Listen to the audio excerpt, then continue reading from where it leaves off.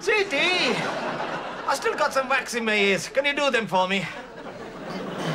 Ooh, that's really wedged in there, isn't mm, it? Mm.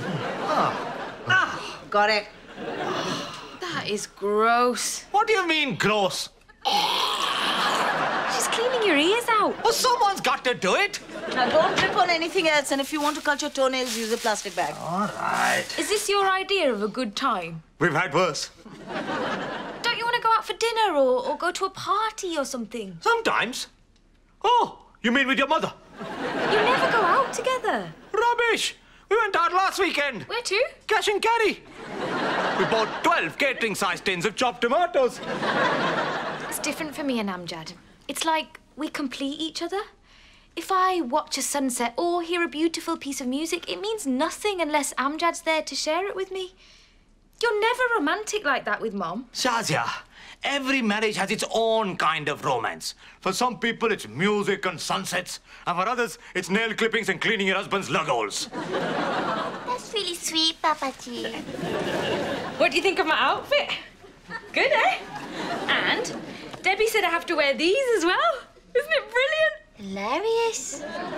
Shazia, you can't be dressed like that. The imam's coming. Don't worry, I'm not hanging around here. I'm going out tonight. I'm having a Hindu. What? Shazia, what is this madness? What do you mean? It's just a Hindu. Promise me you won't go through with it. I forbid you. You've got to have a Hindu before you get married. But why does it have to be a Hindu?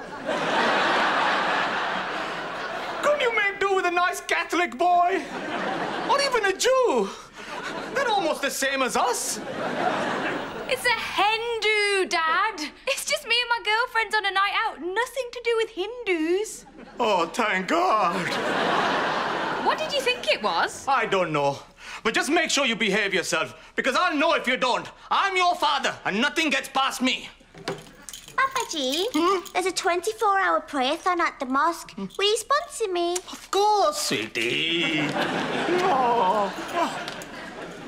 Me and Debbie are going to a nail salon, and then we're going to a really nice restaurant where we're meeting the rest of my mates. Shazia, this isn't a very becoming outfit for a respectable Pakistani woman. You wouldn't catch your mother dressing like that.